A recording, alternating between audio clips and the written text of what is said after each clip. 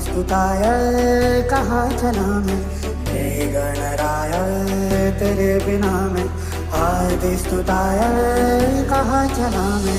हे विघ्न हरता, हे बप्पा विघ्न हरता सहस्र भक्त जन का तू एक करता धरता। द्वेष मुक्त मन वो तू जिसमें वास करता। इसीलिए तो सबसे पहले बोले बप्पा मोरे